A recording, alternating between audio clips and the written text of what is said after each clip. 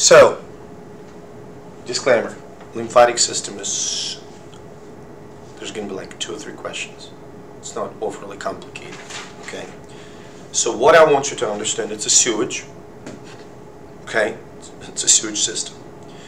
And you have a drainage of the lymph in the following manner. So first of all, what is lymph? When the fluid, extracellular fluid from tissues enters the lymphatic vessels, it essentially becomes lymph. So you go lymphatic capillaries,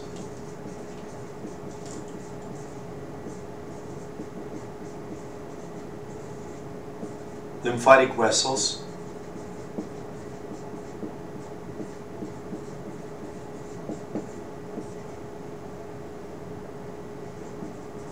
subclavian veins.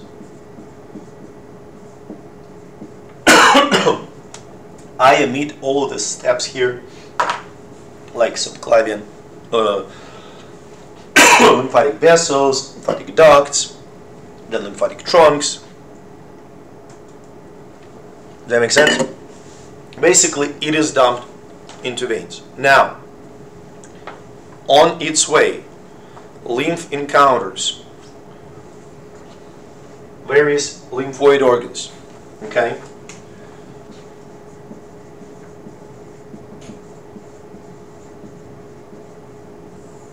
What are lymphoid organs? Spleen, lymph nodes, thymus,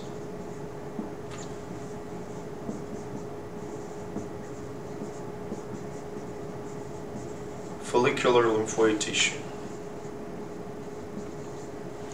So, look, let's address some of them. So, which lymphoid organs lymph will encounter on its way towards the veins? These ones, lymph nodes. Okay? So, check this out. If we draw a lymph node, which looks like a like a bean, okay? Every lymph node has outer cortex and inner medulla. Does that make sense? Each lymph node receives lymph from several afferent vessels and it is drained by one efferent vessel. Now listen, I'm going to tell you the story here. Check it out. Let's say you have some kind of infection going on in the tissue, right? So this infection results in the production of various antigens. You know, pathogens accumulate. You following me so far? Now look what happens. These pathogens are collected in the lymph.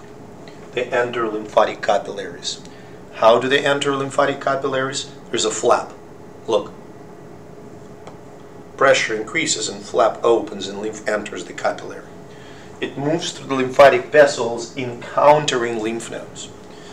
You see, there are multiple vessels that bring lymph into the lymph node, but only one that drains it. Why?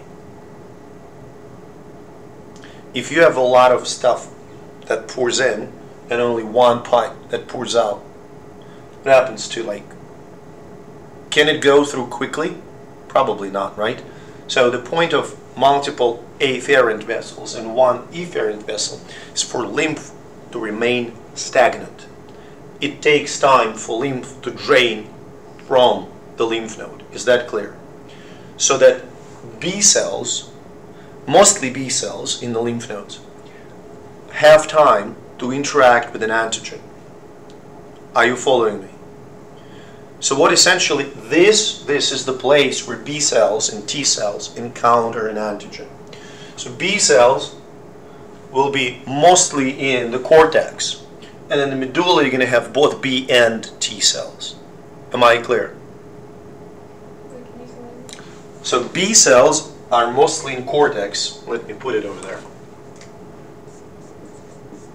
in the medulla, you're going to have more both B and T and a bunch of dendritic cells for antigen presentation. Does that make sense? And then they will migrate, like because once they mature, they can get into the lymph, they can get to the vein, and voila, right? And then they now, what's the function of spleen? Spleen does provide a lot of immune responses. It stores spleen to a large extent. Actually, stores memory cells. Um, am I clear? Spleen stores uh, megakaryocytes to produce platelets. Okay, spleen is essential in clearing out some of the blood pathogens. Spleen is essential for recycling blood cells. Does that make sense? So this is where red blood cells are being, old red blood cells are being destroyed. Okay? Does it make sense? Now, spleen specifically has two distinct layers, red pulp and white pulp. Let me ask you this. Which blood cells commonly found in red pulp? red blood cells. And white blood cells more commonly found in white pulp. Right? Um, now, spleen is not considered to be an essential organ. You can remove a spleen from a person and person will survive. It's often done in patients with lymphoma. If spleen houses those abnormal white blood cells, you need to remove this depot and just the easiest way is splenectomy. Clear? It does, in, it does impair an immune response in those people. Now, um, so for the lymph nodes, what another thing that I want you to appreciate. Lymph nodes is the site where you can find reticular connective tissue, the mesh, the filter. This is what lymph nodes do. They filter. Okay? Does that make sense? Now, let me ask you this. If you have a fluid, lymph, that moves through the vessels. Does it have a pump?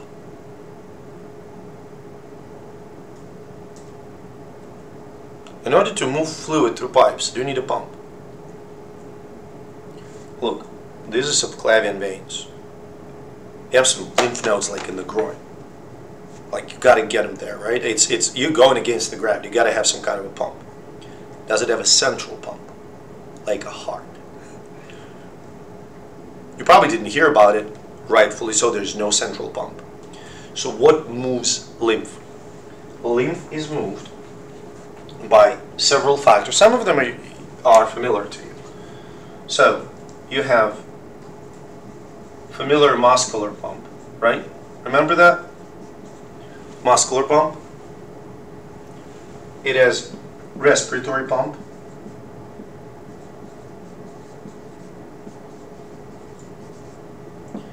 Now, a couple more mechanisms, kind of bizarre. Uh, vessel constriction, so lymphatic vessels can constrict.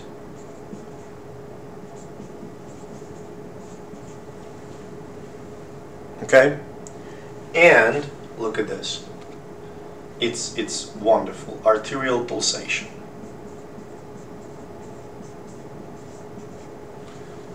When lymphatic vessel is very close to an artery.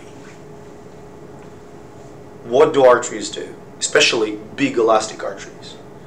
When there is systole, cardiac, you know, ventricular systole, and blood is ejected into the system, they expand.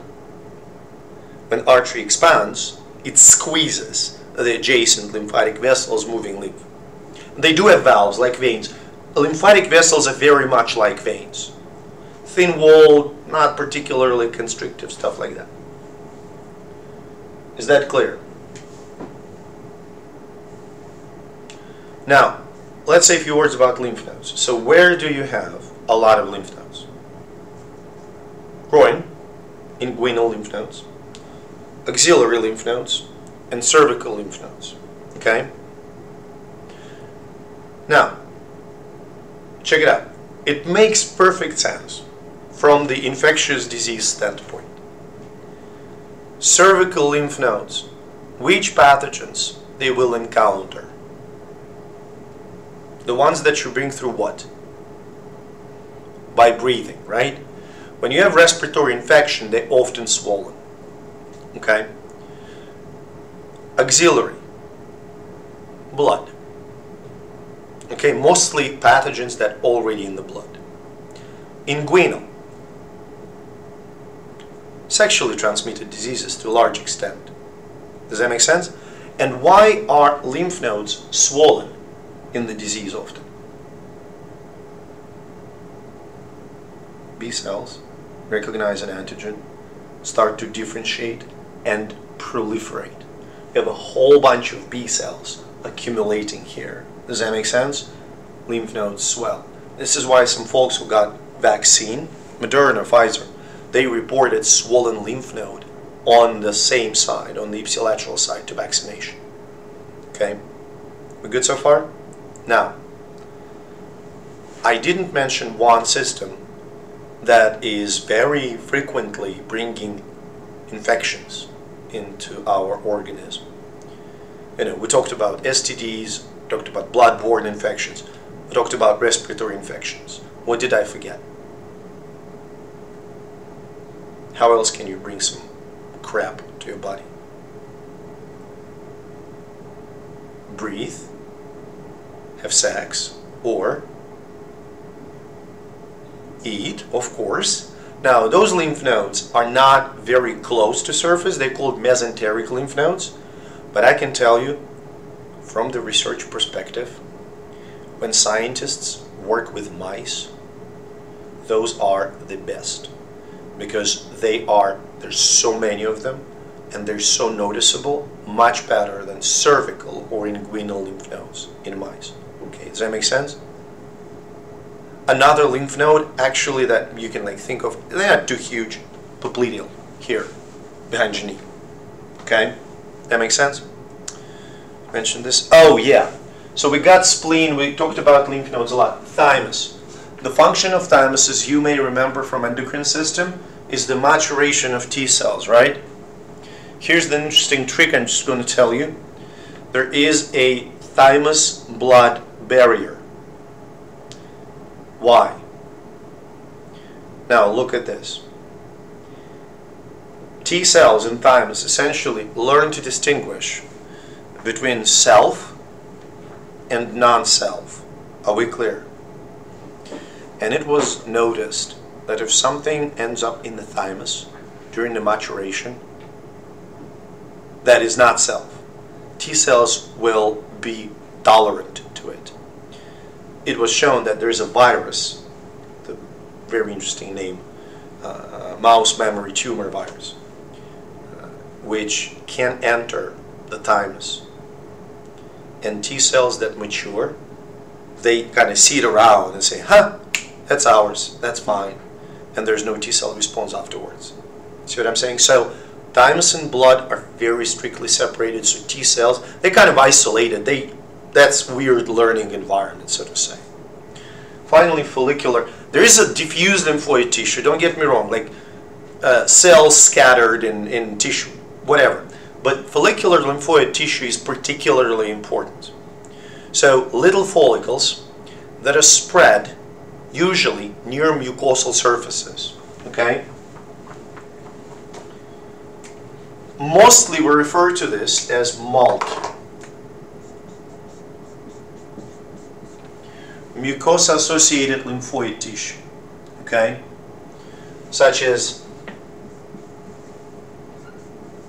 Peyer's patches or tonsils. Okay? Now, look at this. Look what happens.